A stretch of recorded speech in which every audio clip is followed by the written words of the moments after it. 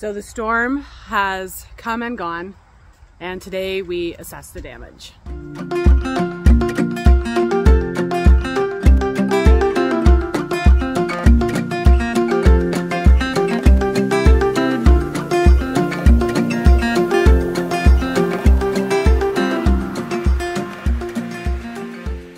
So today's Saturday.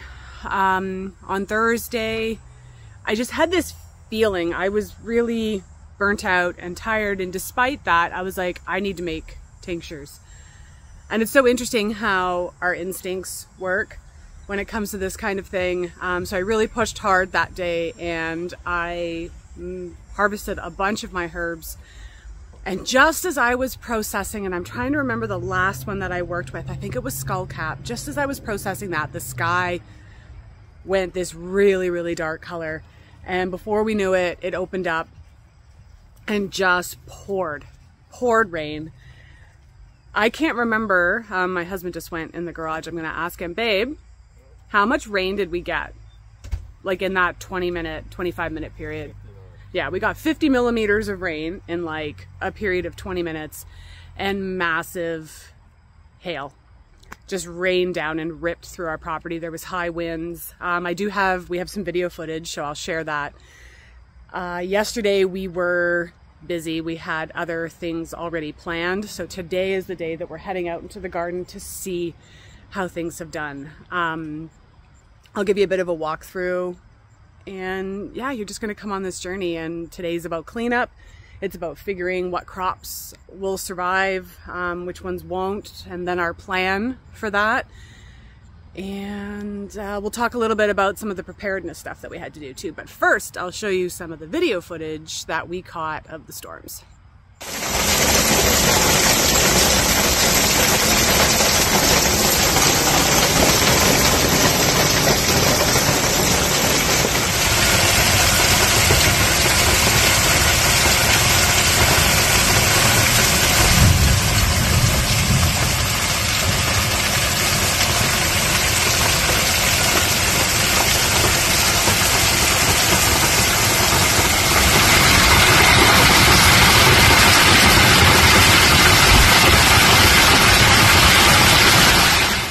So you can see Paul's got the leaf blower out because obviously there was a lot of downed leaves all over the property. Is that, are those cucamelons? Yeah. So if we look at, you can see the hail damage. I mean, the plants seemed, I mean, it's hard to know what's going to survive, but everything, we're kind of joking, like all the leaves look like Swiss cheese. The hail just came in and ripped through so much of the property, but we also have a lot of leaves everywhere. Oh, is that our first cucamelon? That's exciting. There's some good news in there. Oh, I can see a few more. There's a few more to harvest. That's great. Um, but we have a lot of damage like this. And the leaves of the sweet potatoes also look like this. So that's the one crop that I'm really worried about. Look at my rhubarb.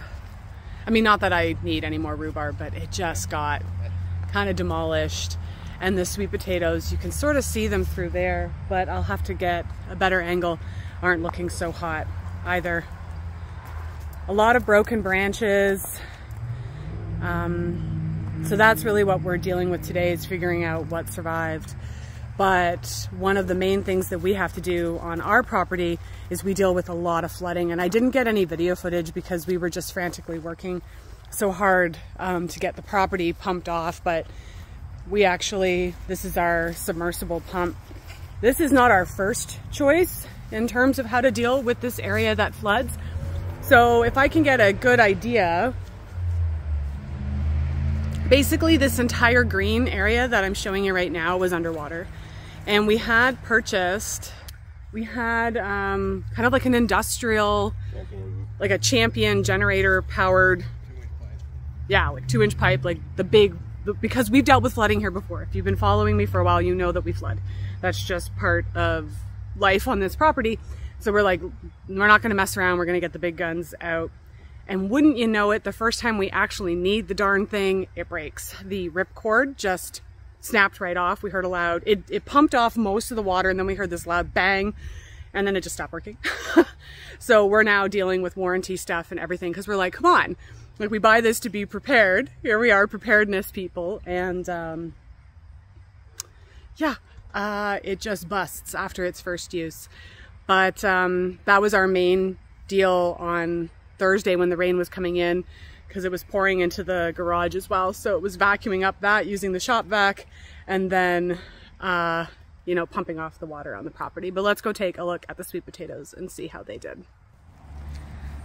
So it's a lot of flattened plants. Like the, and that's what my herb garden out front looks like too, just kind of looks flattened. Um, these were brand new beans that we had just planted. And I mean, there is some damage on them. Hopefully they'll bounce back. This is our second crop of beans because the first crop didn't do so well. They actually don't look too, too bad. But the sweet potatoes. I mean, I wish I had a before picture because this bed was lush and overflowing and amazing. And what we have are a lot of broken and ripped leaves. We just hope that there's enough um, leaf left that the plant can do its photosynthesis thing.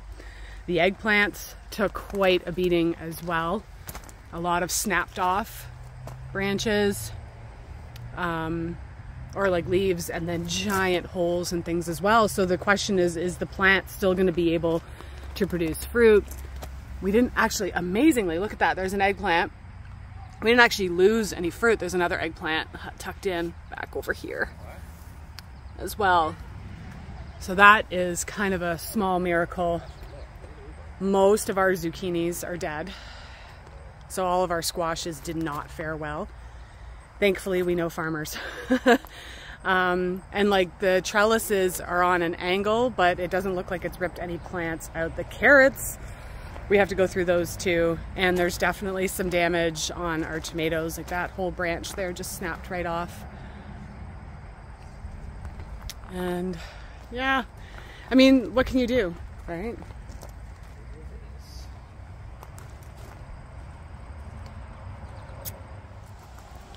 So where did you get back from?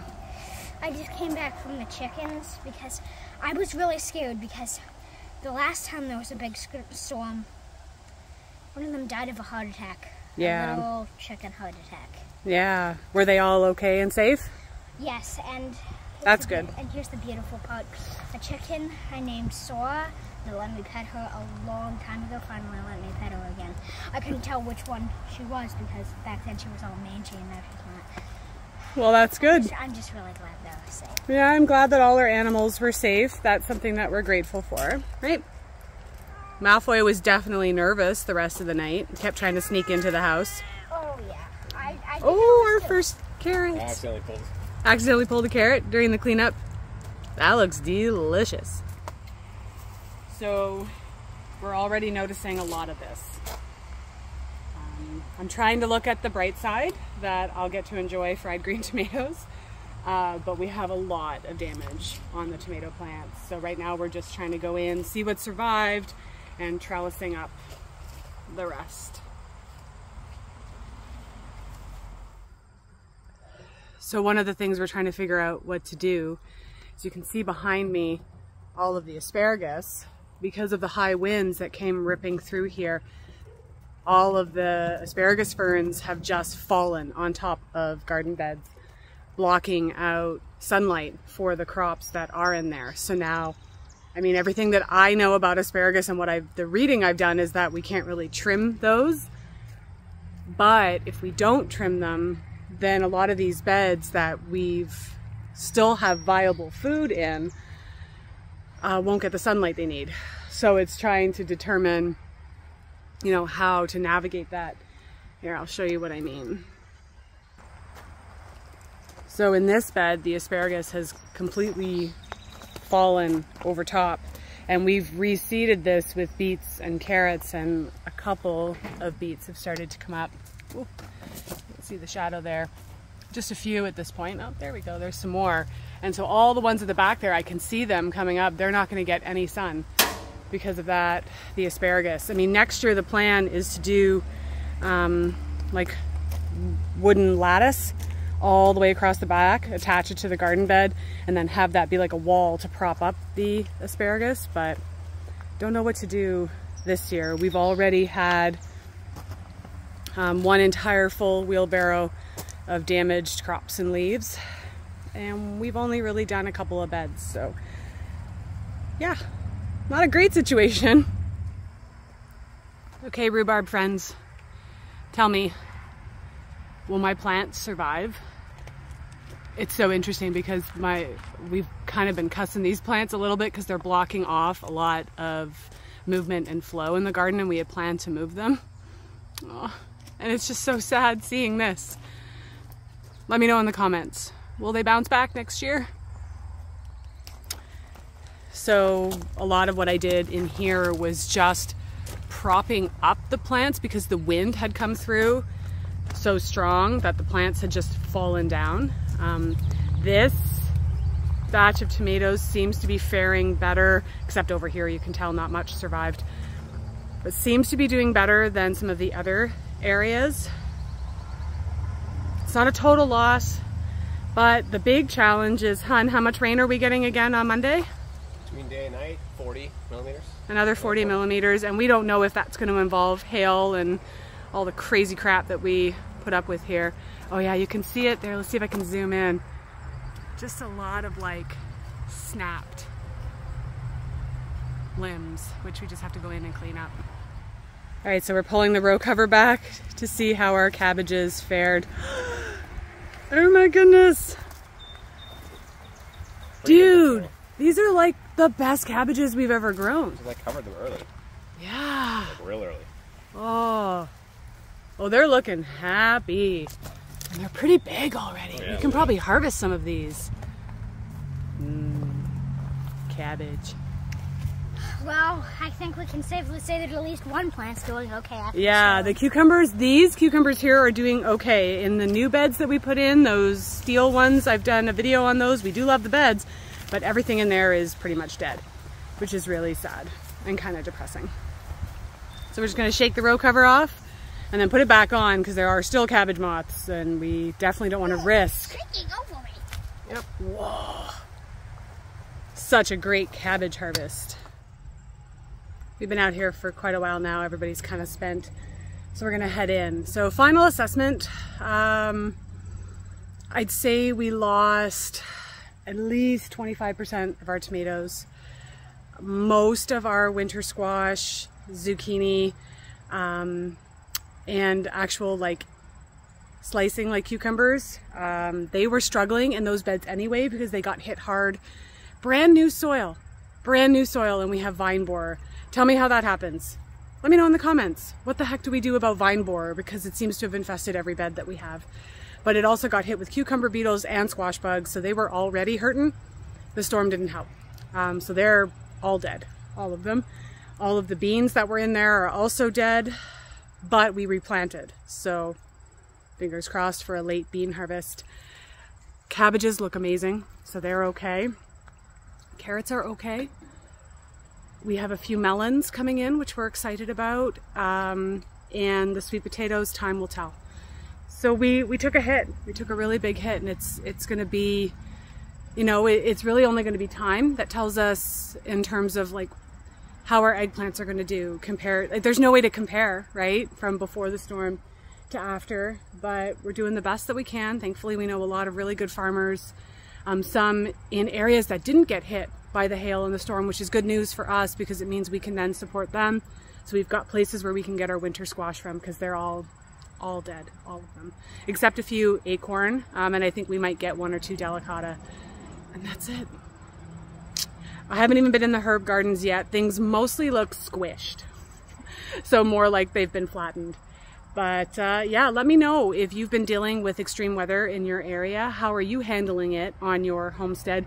What are the plans that you're going to put in place? This is something that we're going to discuss, and maybe I'll do um, kind of like a pantry chat with my husband about what are the future plans going forward because if we're going to keep dealing with these erratic weather patterns we haven't really had a lot of hot days. So we're lacking in heat we're getting way too much rain um, we're getting these really devastating storms coming through. So what are our plans? How are we going to adapt to this? Because if we think it's not going to happen next year we're being naive. So let me know what are you thinking on your homestead? How are you going to future plan for shifting and changing weather patterns? I want to hear it in the comments below And until next time, this is Correne from Spiraea Herbs, wishing you health, wellness, and I hope happy gardening.